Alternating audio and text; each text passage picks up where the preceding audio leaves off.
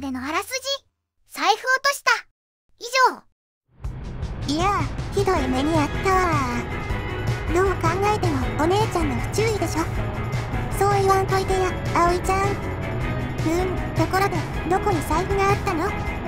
やっぱり予想通り飛行機雲撮影したところにあったでなんかお墓の前にお供えするように落ちてた。お供え？多分なんやけど誰か拾ってくれて目立つところに置いてくれたんやと思うわ。ありがたい話だね。ほんまありがたい話やで。押村区は停車していた位置からちょっと離れとったことやな。探すのにちょっと苦労したで。焦ってまた立ちぼけしてたよね。葵ちゃんそれは言わない約束やで。これからどうするの？かなり時間ロストしちゃった感じだけど。そうやね。当初はこのルートで風やダム目指す予定やったんやけど財布探す時間込みで2時間のロストやな。うわ結構時間かかっちゃったね。やから行こうと思ってた吊り橋はキャンセルや。残念。何や葵ちゃん嬉しそうやな。そんなことないよ。まあええわ。それじゃまず目指すはサルタニダムや。はーい。と少ししたら右折やね。サルタニダムって猿が多いのかな？動物園がないんやから。サルタニダムは重力式コンクリートダムで洪水調節機能を持たない利水専用ダムらしいで。へえ。結構珍しいダムなんやで。そうなんだ。葵ちゃん。ももうすぐ到着やで。到着みたいだけど何かやってるみたいだね。何やってんやろな。ああドローン撮影やっとるんか邪魔しないようにしなきゃね。せやね邪魔にならんように奥に止めるで。お姉ちゃんはドローン使わないの？ドローンは今のところ使う予定があらへんなということで到着。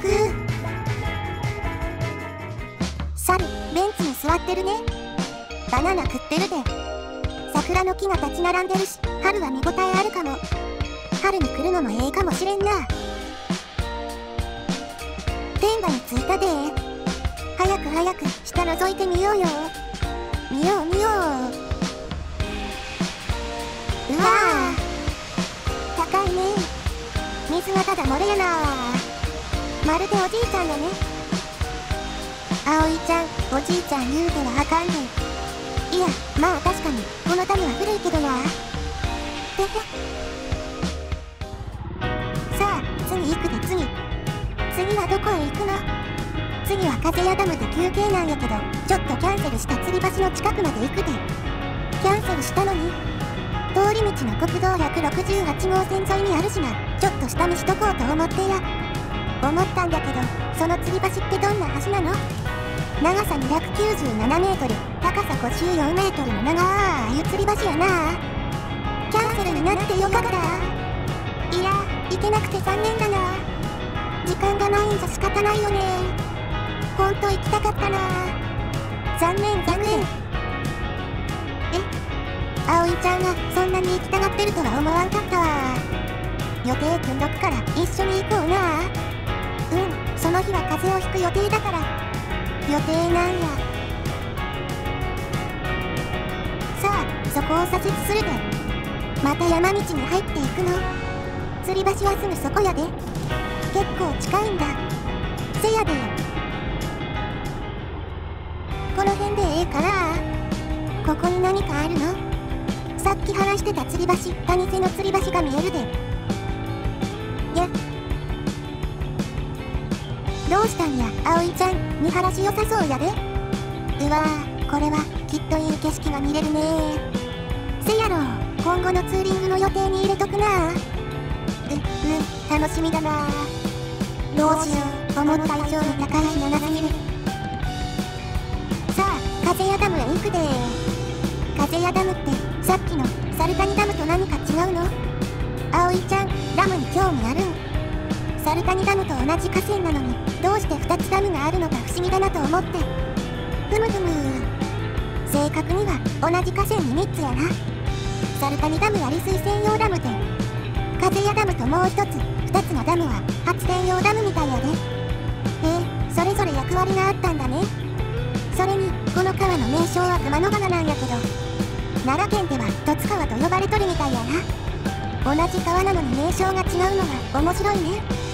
地域の名称とかいろいろ調べると面白い発見があるかもしれんな。ええー、面倒くさいからやだ。あおいちゃん。風やダムやでちょっと休憩や。ここは広々としていいね。暑さを除けばな。あれそこの駐車場に止めないの？ラムに着いたら天馬を走るのは恒例行事やで。そんな恒例行事やったんだ。まあうちが決めたんやけどな。実はドマイナーだった。こんな大きな施設の上を走るんやで。絶対気持ちええに決まっとるやん。わからなくもないかも。この先は何かあるの？風やダムの管理室があるくらいやな。そうなんだ。ということで到着やで。何か始まった？一人撮影会はバイカーの恒例行事やで。はいはい。早く撮影終わらせてダム見に行くよ。もうちょっとやで。もうちょっと。サルタニダムとはだいぶ規模が違うね。せやねさすが発電施設といったところなんやろか。大きな施設って何か圧倒されてしまうね。せやねそれにこうワクワクしてしまうんや。なんでやろな。さあところでこの後どこ行くの？この後は南へ下ってぐるっと回って鶴姫公園へ行くで鶴姫公園って何かあるの？何もない。ええ。ー、あるのは360度のええ景色や。うん今すぐ行こう。ええー、もうちょっとゆっくりしようや。ダメ今すぐ行くの。せめてせめてトイレだけでも。早くしてよねお姉ちゃん。目の前に大きなパイプが走ってるけどなんだろうね。これは野地に水路橋って言って風やダムの水を発電所に送るパイプやで。へえダムと併設されてるものと思ってた。日記的に無理やったんやないかな。ダムの下流側崖崩れ起こしとったしな。それじゃダムの近くに発電所なんて建てれないね危なくてしゃあないわな。まだ南に行くの？もうそろそろ西に曲がるとナビは言っとるな。というか上に見慣れた数字があるんだけど。バレたんじゃ仕方ないな。今から国道425号線走るで。あれ国道425号線って前走ったところが全部じゃなかったの？あれはほんの一部やで。説明するのだ。国道425号線は総延長 189.2km の細長い国道なのだ。以上おしまい。ほら行くで葵ちゃん。ああもう事故しないでよ。あれ特に問題なさそうに見えるけどずっと道がこんな状態なら気持ちよう走れるやろな。前から軽トラが来たね。避けなきゃ。葵ちゃんちょっとダート走るで。ちょっといきなり砂利道に入らないでよ。つまんやでああ避けた方が安全と思ったんや。むーとにかく安全運転でね。わあいい景色だね。こういった雰囲気の道は何かええな。それにこんな山奥にも民家があるんだね。隠れ里って感じがするな。バス停もあるみたいだよ。おあバスと鉢合わせるのは嫌やな。でも民家があるんだったら案外主要道路が近いのかも。そうやとええな。もう40分くらい山道走ってるんだからあと少しだよ。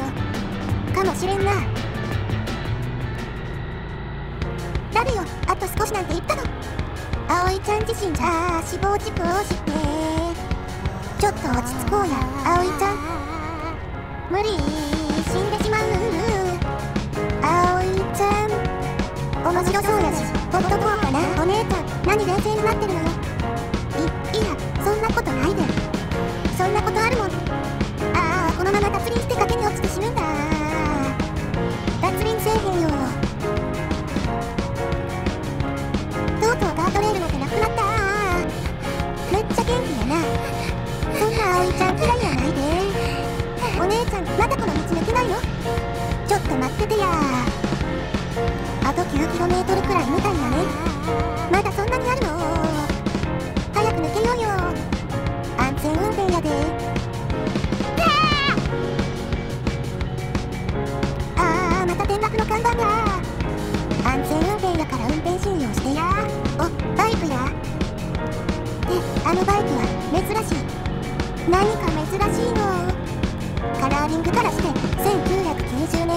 RGV250 万枚。ええもん見せてもろうたわマニアックすぎてわかんないんだけど。ええもん見れたしそれじゃ少し国道425号線を楽しんでもらうてささ葵ちゃん引っ込むてかわいい。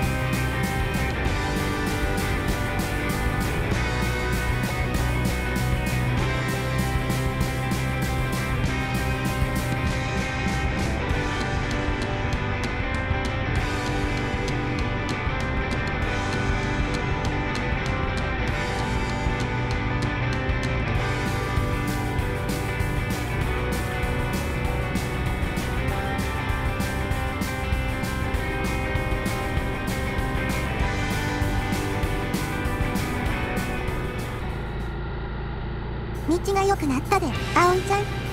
本当に。そろそろ出口やで。ふう閉めかと思った。大げさやな。何よ本当に怖かったんだからね。まあまあ葵ちゃん。ええ景色の場所連れて行くから気に直してやいい景色じゃなかったらしばらく口聞いてあげないからね。ごめんやで葵ちゃん。そろそろ右折するで。眩しい。ここを曲がったらどこへ行くの？友人スカイラインを走って今朝立ち寄った高野山大門にたどり着くんやで。じゃあぐるっと一回りした感じなんだね。せやで。景色がいいっていう鶴姫公園ってここから遠いの？約 40km だからちょっと遠いな。結構時間かかるんだね。大丈夫やで葵ちゃん。うちらには必殺技があるからな。必殺技？そうやそれじゃ使うで。ううん。鶴姫公園入り口までカットや。さあ入り口に着いたで。ここなの？公園って感じがしないんだけど。ここはそうやな。今から行く目的地はもうちょい先やで。また細い道入ってる。ちゃんと公園なんやから。この先に展望台があるんや。どんなところなんだろちょっと楽しみかもきっと気に入ると思うで。期待しててや。さあ到着したで。奥には結構広い駐車場があるんだね。休日は人が多いんかもな。ということで到着。葵ちゃんあそこの展望台に登るで。わあ見晴らしがすごい良さそう。うちらしかおらんからな。景色は独り占めや。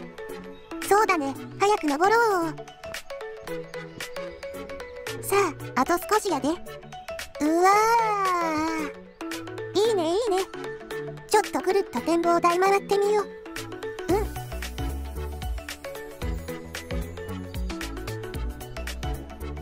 360度遮るものがないのがいいね。夜の星空を撮影するには絶好の環境やな。星空いいね。見に来ようよお姉ちゃん。ええんか葵ちゃん。何が？ここ街灯ないし真っ暗になるで。考えとく。葵ちゃんここの景色は満足していただけましたかな？ま、あまあかな。お姉ちゃんにしてはよく考えたんじゃない？葵ちゃんは素直じゃないな。お姉ちゃんが悪いんだよ。あんなところに連れて行くんだもん。はいはい、ごめんやで。もう、それじゃ、今回はここで動画を締めくくるで。ご視聴ありがとうございました。お姉ちゃん、つーちゃんある